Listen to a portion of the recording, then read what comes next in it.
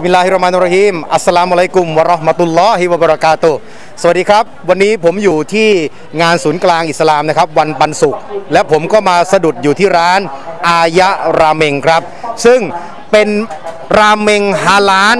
หากินได้ยากมากในประเทศไทย แม้แต่ตัวผมเองเนี่ยนะครับ หากินมาตั้งนานแล้วว่าอยากจะกินราเมงที่ฮาลาในกรุงเทพหรือในเมืองไทยต้องกินได้ที่ไหน และนี่ผมค้นพบแล้วครับ ร้านอายะราเมงนะครับเป็นมุสลิมนะครับเจ้าของเป็นมุสลิม แล้ววันนี้มาออกงานก็เป็นราเมงเส้นสดที่ทำเองนะครับ บอกได้เลยว่าเป็นอะไรที่ตื่นเต้นและเซอร์ไพรส์มากๆ นี่ครับราเมงที่เอามานะครับจะมีชิโอะราเมงไก่ นะครับแล้วก็มีมิโซะราเมงเนื้อนะครับแล้วก็มีโชยุราเมงไก่ หน้าตาอาหารแบบญี่ปุ่น ญี่ปุ่นแท้ๆแบบนี้เนี่ยส่วนมากนะครับจะเป็นหมูชาชู จะเป็นหมูคุโรบุตะ หรือจะเป็นหมูใดๆทั้งสิ้น น้ำซุปก็หมูอะไรก็หมูหมด แต่วันนี้ครับพี่น้องมุสลิมของเราจะได้ลองลิ้มชิมรสกับเมนู ราเมงฮาลาน เรามาดูกันสิครับว่า วันนี้ผมจะได้ชิมราเมงแล้วจะอร่อยแค่ไหน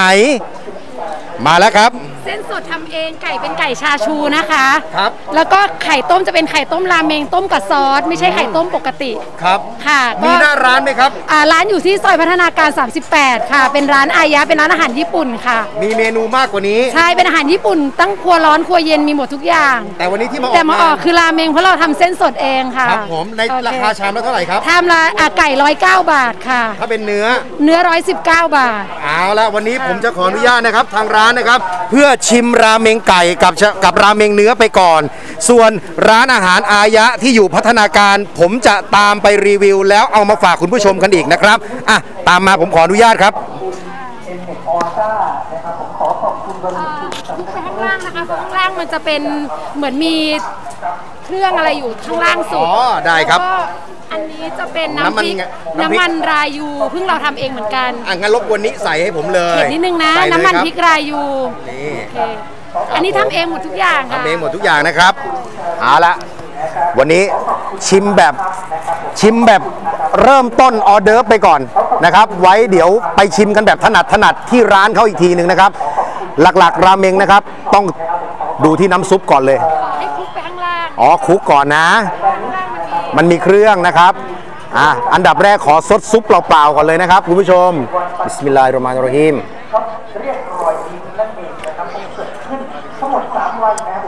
นมนมเข้มข้น หอมหอม รสชาติไม่จี๊ดจ๊าด ไม่ฉูดฉาด แต่ละมุน ต่อไปเป็นเส้นครับเขาบอกเป็นเส้นสด เส้นสดที่ทางร้านทำเองนะครับตอนนี้นะครับท่านมีเกียรติที่เดินทางมาบิสมิลลาห์เดินงานแล้วนะครับผมเป็นการรับประทานอาหารนะครับผมเป็นอื้อหือ มันดิ้นในปาก มันปรูดเข้าไป แล้วมันดิ้นในปากเลย ต่อไปครับเราจะมาชิมไก่ชาชูครับ ซึ่งปกติแล้วเนี่ยราเมงต้นตำรับจากญี่ปุ่นจะเป็นหมูชาชูนะฮะแต่นี่เป็นร้านมุสลิมฮาลานจึงมีไก่ชาชูครับอืมอุ๊ยมันนุ่ม มันมีกลิ่นและรสชาติที่เฉพาะ เฉพาะเลยอะเขาต้องไปผ่านกรรมวิธีใด ๆ สักอย่างหนึ่ง ซึ่งเราไม่รู้เป็นความลับของทางร้าน แต่ไม่ใช่เหมือนไก่ธรรมดา ไก่ชาชูอร่อยครับ และไข่เนี่ยเป็นไข่ต้มราเมงครับอนที่สดใสมากขึ้นนะครับผมซึ่งในส่วนของบ้านเด็กฟ้าเองด้านหลังของอาคารมัสยิดของว่าจะชิมราเมงไก่และราเมงเนื้อ ผมว่าผมอดใจไว้ ไปรอชิมที่ร้านอายะ ลุยไปกินหลาย ๆ เมนูของร้านอายะที่พัฒนาการ แล้วจะนำมาเสนออีกครั้งหนึ่งครับ วันนี้เอาพอสังเขปก่อนครับ ร้านอายะอะ ร้านอายะเปิดวันไหน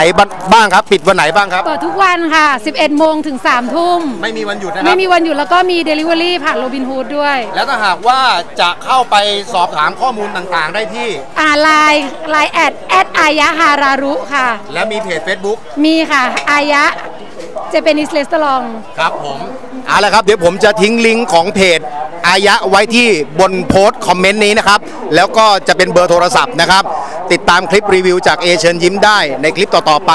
จะนำมาเสนอให้กับคุณผู้ชมได้ชมกันครับ วันนี้ไปก่อนครับวบิลลาฮิตาฟิกวันฮิดายะสลามุอะลัยกุมรอฮ์มะตุลลอฮิวะบะเราะกาตุสวัสดีครับสามสองเดือนนะครับงานสี่วันทุกท่านครับผมมาร่วมงาน